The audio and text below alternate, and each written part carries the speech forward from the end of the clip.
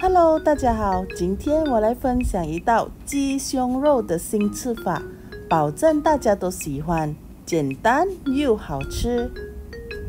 来看看食谱有什么？准备一个鸡胸肉，将鸡胸肉切成小小的厚片，这样过后呢，剁成碎。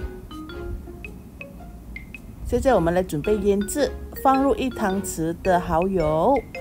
一汤匙的生抽，少许胡椒粉，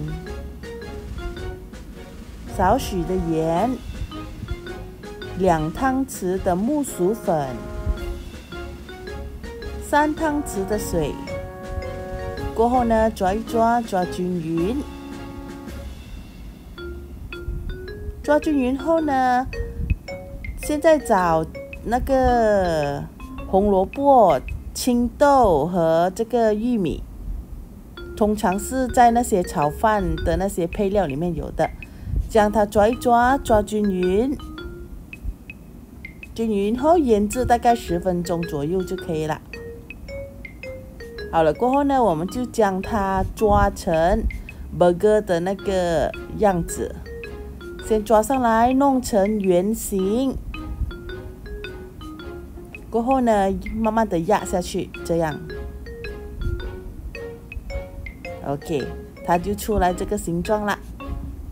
现在准备油，少许的油，然后拿下去煎一煎它，油不需要多，少少就可以了。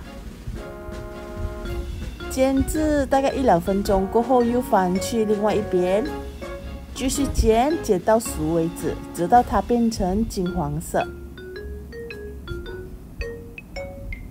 好了过后呢，就倒入两百 mL 的水，盖上它，煮一煮五分钟。